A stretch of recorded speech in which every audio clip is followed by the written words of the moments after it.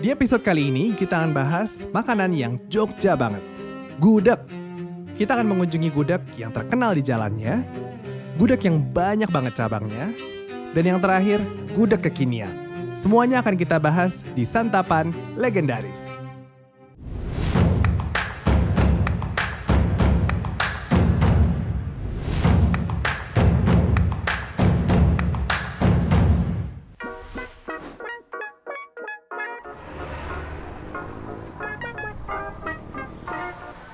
Yogyakarta, daerah yang istimewa bukan hanya karena namanya, tapi memang tempatnya yang terasa beda dari kota-kota lainnya.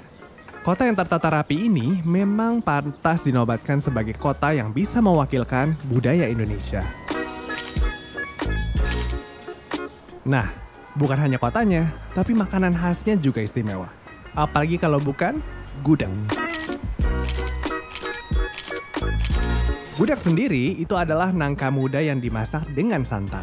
Tapi banyak orang yang taunya gudeg itu adalah hidangan nasi yang disajikan bareng dengan ayam kampung, telur, tempe, tahu, sayur nangka, dan sambal goreng krecek, terus disiram kuah kental santan atau areh.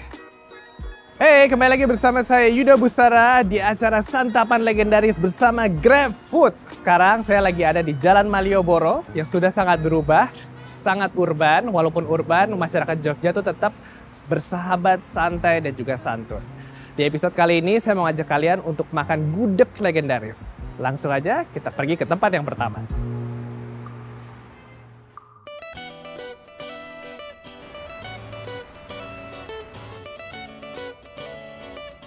Sekarang saya ada di restoran legendaris yang pertama. Konon katanya, menurut rekomendasi teman-teman saya, gudeg yang satu ini sering dibeli abdi dalam atau enggak orang-orang keraton. Makanya saya mau sarapan dulu di gudeg Bu Is. Let's go. Resto legendaris pertama ini udah langsung bikin gua ngiler. Karena lauk-lauknya sudah terpampang di gerainya. Tinggal siap disaji. Sebelum makan, kita ngobrol dulu dengan Mbak Murti. Mbak Murti, aku mau tanya restoran ini Bu Is itu udah berapa lama sih? Ini kurang lebih udah lebih dari 20 tahun ya. 20 tahun? Ya, Tapi ownernya masih ada kan? ownernya sudah meninggal almarhum. meninggal. Ini yang meneruskan anaknya. Oh, anak-anak. Iya, kalau untuk Bung Is sendiri sudah almarhum. Oke. Iya, Jadi kalau masaknya sendiri melelahkan nggak sih Mbak? Karena komponennya banyak. banget. Banget ya? Iya, soalnya apinya gede semua. Emang kenapa sih kalau apinya nggak pakai kompor gas gitu kenapa? Rasa ya, Kenapa rasanya? rasanya lebih enaknya pakai kayu sama areng. Karena pelan-pelan gitu Iya, ya? jadi kan Meresap apinya ya, gitu ya? Lebih lebih rasanya lebih enaknya pakai areng. Kalau dari aroma juga Iya. lebih enakan pakai arang. Banyak nggak sih artis-artis atau enggak pejabat gitu makan di sini? Pejabat dari keraton, Dari keraton. biasanya ordernya ke sini Oh kalau iya? ada acara. Dari Iya. keraton pasti kalau acara ke sini? Iya. Abdi dalam pun Oh, setiap hari, setiap minggu tuh pesennya ke sini. Oke, Kalau artis nggak penting. Yang penting Iya. adalah keluarga keraton makan di Iya. sini. Itu yang paling penting.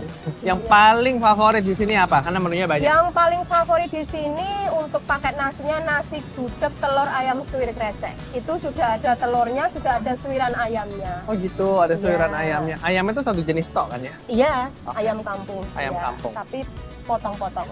Mbak Murti, terima kasih aku udah diceritain Iya, sejarahnya. sama-sama. Sekarang aku pengen cobain. Yang enak Boleh. apa?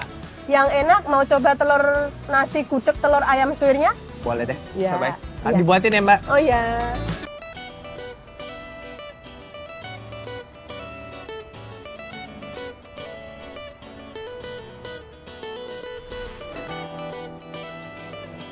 Oke, ini dia gudeg yang fresh. Di sini saya punya krecek, ayam suwir, areh. Arehnya beda ya. Areh kan ada yang putih, ada yang coklat kayak gini, dan juga ada telur. Ini telurnya telur gudeg gitu kayak dibacem. Dan juga di bawah arehnya biasanya ada nangkanya. Gudeg kayaknya kalau nggak ada nangkanya itu bukan disebut gudeg. Dan nasinya juga nasi putih. Hmm. Hmm. Hmm. Manis banget. Budak tuh emang kadang-kadang nggak buat semua orang sih. Kadang-kadang terlalu manis buat beberapa orang. Cuman buat yang suka manis, gudeg Jogja itu rata-rata lebih manis daripada gudeg daerah lain. Ini saya mau nunjukin krecek. Krecek itu adalah kulit sapi Jadi dia kulit yang dikeringkan kayak kerupuk gitu lalu dimasak jadi sambal pakai rempah-rempah. Saya mau sarapan dulu ya guys.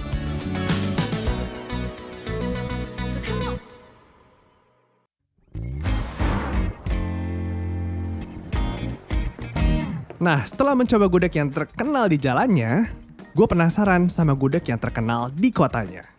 Tentunya resto itu ada di list resto legendaris GrabFood.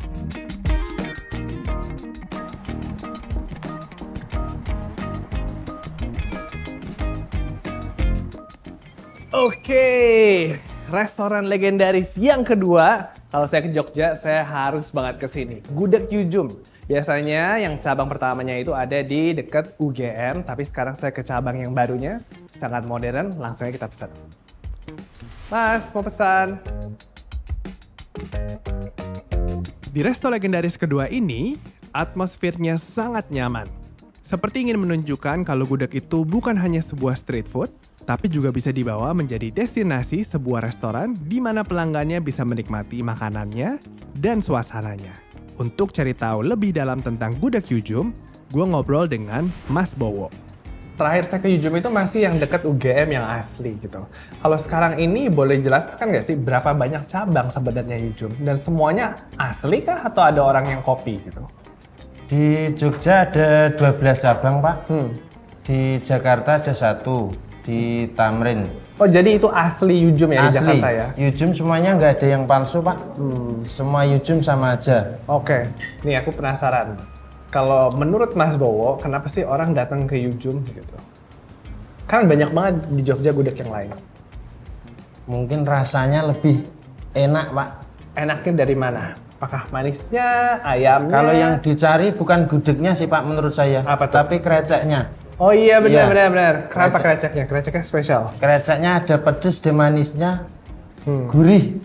Iya, Mas Bowo makan gudeg tiap hari. enggak.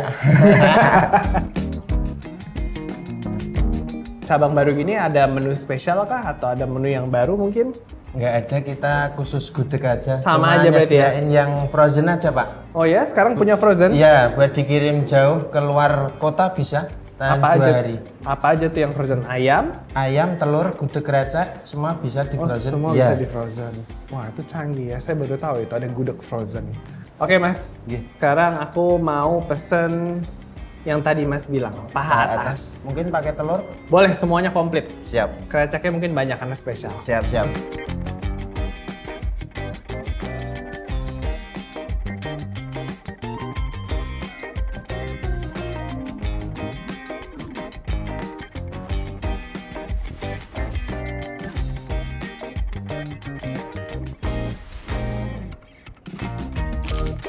Gudeg Yujum. Nah, sebenarnya saya udah sering banget sih makan gudeg Yujum. Cuman saya mau menjelaskan ke teman-teman. Sebenarnya gudeg intinya sama ya. Komposisinya itu adalah ayam, nasi, ada nangka, ada krecek atau enggak kre- krecek gitu ya. Kreceknya ini adalah kalau di Yujum yang paling spesial. Terus saya suka banget sama arehnya, jadi saya mintain banyak dan juga ini ada telur. Seperti Mas Bowo bilang, bagian yang paling enak adalah paha atas. Saya juga setuju sih, karena paha atas tuh lembut, juicy gitu ya. Kalau dada mungkin ada yang bagian yang kering. Hmm. Hmm. Sebenarnya kalau bumbu sama aja, yang pasti ada gula merah, ada santan. Areh itu apa sih? Areh itu sebenarnya santan dikasih bumbu, dikasih gula, jadi dia manis. Cuman bedanya kalau di Yujum itu arehnya warnanya coklat. Ada di restoran lain arehnya masih warna putih. Jadi sesuai selera dan sesuai resep masing-masing. Jadi kompleksnya itu ada manisnya, tapi ada gurihnya juga. Dan juga kreceknya, jangan lupa kreceknya Yuzum tuh selalu gurih gitu. Tidak terlalu pedas, bikin nagih. Saya mau habisin dulu ya guys.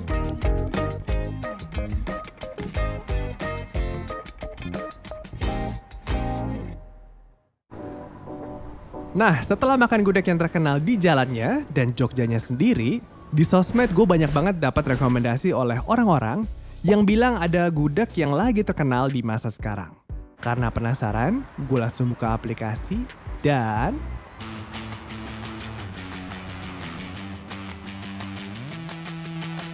Sekarang saya udah ada di restoran yang terakhir di Jogja. Nah, gudeg yang satu ini bener-bener urban. Katanya dibuat untuk semua kalangan. Gudegnya tidak manis dan yang paling spesial di kreceknya yang super pedas. Mari kita coba gudeg go.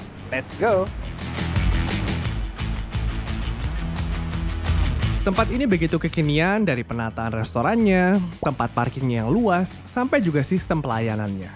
Bisa dilihat dari konsepnya saja, kalau resto ini tidak terkenal karena keberuntungan, tapi karena sudah dirancang dengan baik dalam segala aspek. Nah, apakah gudegnya juga dirancang dengan baik? Sebelum itu, gue akan ngobrol dengan Ibu Sonia. Ibu Sonia, Ya, uh, seru banget karena aku belum pernah mencoba gudeg go. Boleh diceritain nggak sih gudeg go tuh udah berapa lama? Oh, gudeg gue udah jalan hampir lima tahun. Lima tahun? Ya, Asalnya dari Jogja, apa dari ulang lain? dari Jogja. Oh dari Jogja. Iya, dari Jogja. Gudeg go udah punya berapa cabang bu? Ini baru tiga cabang. Gak cabang. Pusatnya di sini. Ya, di sini. Kira-kira apa sih yang membuat orang-orang datang ke gudeg go daripada tempat lain? Menurut ibu, Menurut saya sendiri ya, kalau saya sendiri sih saya rasa gudeg gue itu bedanya di kreceknya mas. mm, Karena kita kreceknya mercon. Banyak kan untuk apa anak muda kan sukanya yang pedas, nggak nggak manis gitu. Terus gudegnya juga nggak terlalu manis kita. Jadi tujuannya sih sebenarnya untuk untuk, untuk orang luar kota biar bisa beli oleh-olehnya di gudeg tuh gitu. oh gitu. Ibu orang apa sih? Orang dari Jogja kah atau? Dari Wonosobo. Coba, menurut menurut ibu gudeg Jogja itu manis atau tidak? Manis sih, ya. Ya sih, saya juga sih. Emang banyak banget yang manis. Iya. Saya pikir orang Jogja memang suka seperti itu. Makanya ada gudeg go, dibuat gudeg yang kreceknya krecek mercon lebih Iya. pedas dan arehnya mungkin tidak terlalu manis Ya, gitu. Gudegnya juga nggak terlalu manis. Jadi gudegnya tidak terlalu Iya. manis. Oke. Saya jadi lapar nih. Saya jadi Iya. penasaran. Kalau gitu kayaknya saya mau cobain yang komplit deh, pakai paha atas. Baik, siap. Saya suka paha atas. Iya.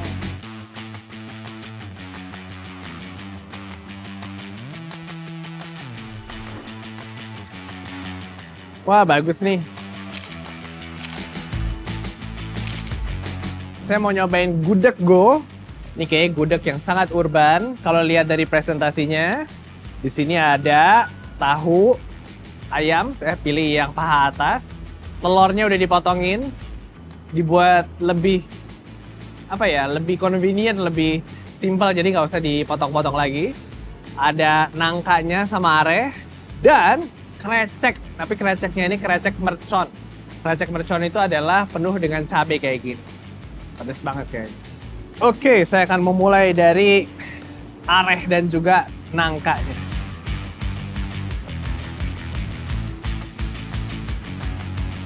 Hmm. Hmm. Iya sih, seperti kata Ibu Sonia tadi, ini nih nggak manis. Dari dari semua gudeg yang saya coba, ini yang paling tidak manis. Jadi lebih light gitu. Kalau kita coba kreceknya, saya seram sih sebenarnya. Kreceknya katanya pedas. Semoga saya nggak kepedesan.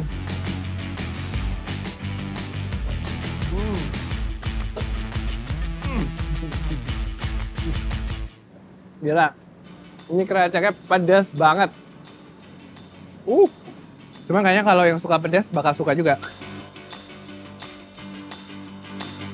Mau cobain ayamnya dulu. Ini ayam gudegnya.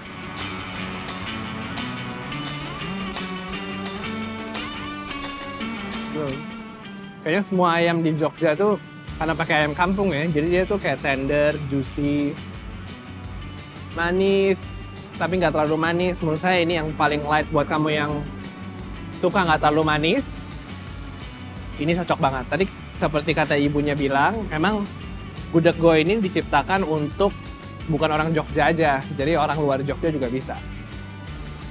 Saya habisin dulu ya guys.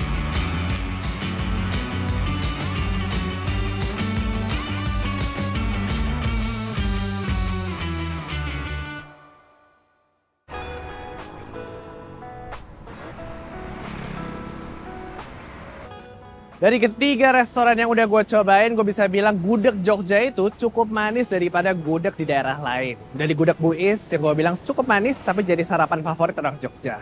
Ada gudeg Yujum yang udah buka cabang di mana-mana di Jakarta pun ada. Dan juga ada gudeg go yang menurut gue urban, rasanya kurang manis dan juga kreceknya pedas banget. Mendingan kalian langsung aja cobain masing-masing ke Jogja biar bisa menilai sendiri. Dan semua restoran yang gue cobain hari ini ada di aplikasi GrabFood, tepatnya di list restoran legendaris. Saya Yuda Bustara, pamit dulu. Bye.